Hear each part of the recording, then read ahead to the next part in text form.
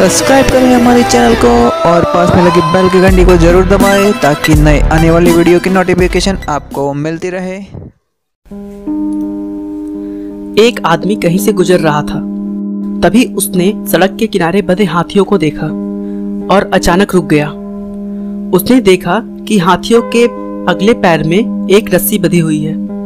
उसे इस बात का बड़ा आश्चर्य हुआ कि हाथी जैसे विशालकाय जीव लोहे की जंजीरों की जगह बस एक छोटी सी रस्सी से बंधे हुए हैं। यह स्पष्ट था कि हाथी जब चाहे तब अपने बंधन को तोड़कर कहीं भी जा सकते थे, पर किसी वजह से वो ऐसा नहीं कर रहे थे।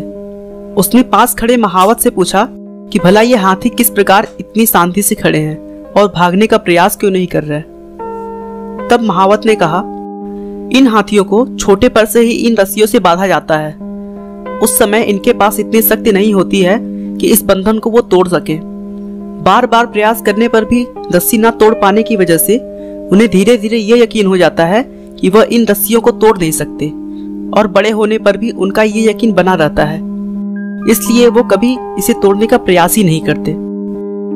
आदमी आश्चर्य में पड़ गया कि ये ताकतवर जानवर सिर्फ़ इसलिए अपना बंधन नहीं तोड़ सकते क्योंकि वो इस बात पे यकीन करते हैं कि वो ऐसा नहीं कर सकते। इन हाथियों की तरह ही हम में से कई लोग सिर्फ़ अपने पहले मिली असफलता के कारण ये मान बैठते हैं कि अब हमसे ये काम नहीं हो सकता। और अपनी ही बनाई हुई मानसिक जंजीरों में बधे हुए पूरा जीवन गुजार देते हैं।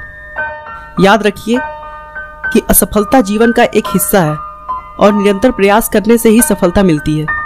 यदि आप भी ऐसे किसी बंधन से बधे हैं जो आपको अपने सपने सच करने से रोक रहा है तो उसे तोड़ डालिए।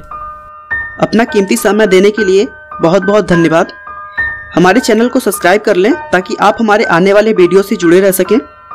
आपको यह मोटिवेशनल कहानी कैसी लगी, हमें कमेंट करके ज़रूर बताएँ। धन्यवाद।